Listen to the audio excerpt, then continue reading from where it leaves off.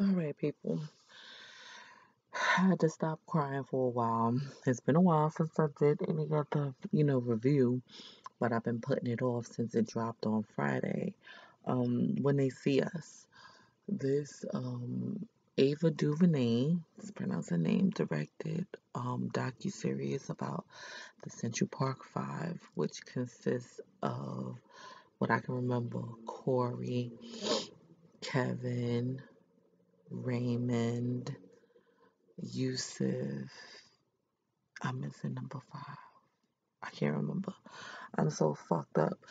Um, it's a four part, at least an hour and some change four part four part docu series, and it's about the um Central Park Five, as everyone called it back in those days, and um, it was it really it was excellent. It was very painful to watch. I got through it. I watched like two hours at work, another two hours at home, and I had to pause it, cry, think, breathe, and come back to it again. It was just so it was it was painful. It was painful to watch. It was real. My son today's Monday, my son was getting on my motherfucking nerves and all I want to do is hug him so tight because um it, it, it's sad. And I was a young kid, but I remember how much it was all the buzz everyone was talking about. It was like one of those craziest story, the what do you mean, the case of the century type shit in New York City, and it it was um to what I feel was so great about this story, because of course it's from their perspective, and um it humanized them because they were just young rapists. That's all the fuck they was. That's all the public pushed, um, the media pushed, and everybody owes these men a fucking apology. They need to kiss their fucking feet, and they survived, and they they got through it, and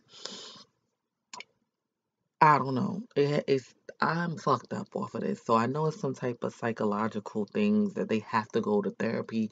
Their faith have to be strong because there's no way in hell mentally going through this and um people treating you the way that you're treated afterwards and the system is fucked up and the, and um it's it's fucked up for black and brown people and um this showcase that 30 years later is still the fucking same.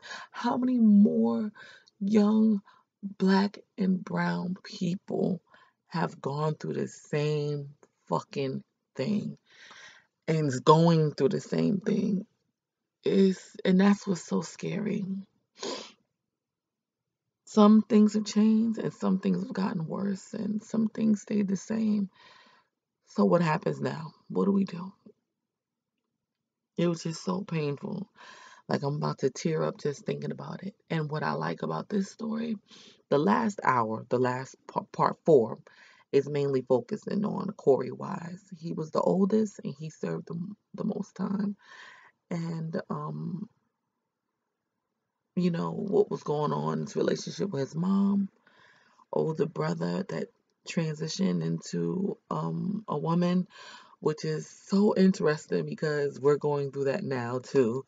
You know, families um accepting, you know, um, family members who who transition to their true selves, and I love that um, Isis was cast. Isis King, I think her name is.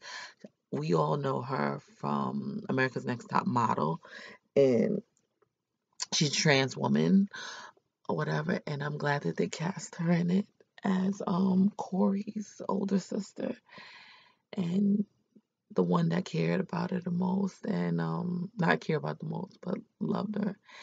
And she was murdered. Um who knows what happened in that whole story. I'm gonna google that because this is gonna be a rough week because this is a lot to think about. I don't even think I'm gonna get some sleep tonight, but I was putting it off, putting off, and I think it needs to be seen. The story needs to be told over and over and over and over again because it was excellent, and it's just, it's just sad. And yeah, they got a settlement, but who the fuck cares? time was lost.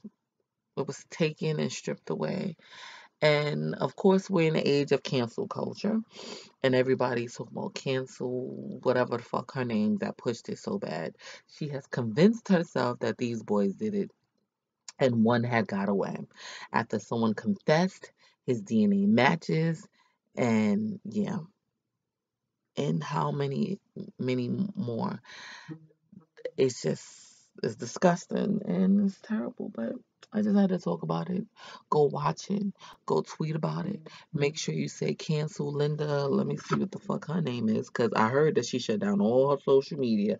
Cause she know fucking damn well she's a fucking trash bag. I have no faith in religion any like I don't know. It, it's just it's unbelievable that someone could sleep at night knowing that she put a 14 year old in fucking prison, put a 15 year old in fucking prison, put a 16 year old in fucking prison. And it's just, oh, Linda Fairstein. Yeah. I always say it'll be a whole different justice system if prosecutors go to jail. If they were wrong, if they go to prison, it'll be a whole different justice system for sure. For fucking sure. And they should pay for their crimes. These men, now men, the boys, had to serve time for a crime they didn't commit. They didn't commit. So you committed a crime, Linda, and the other whore, whatever the fuck that that prosecutor name is. You you committed a crime. You coerced fucking teenager boys. Call them rapists. Black rapists. It's deep. I didn't think it was gonna be this deep, but it's I've been hearing about it. I'm like, oh I'm not ready, I'm not ready. I was like, fuck it. I can't put it off no more. And I need to see this. It needs to be told. I need to look at it. I'm rambling, but I'm just fucked up. I, i'm not gonna be able to sleep because this. I'm gonna be doing my own fucking investigation and research and shit. But um, let's discuss. Have you seen it? What the fuck were your thoughts?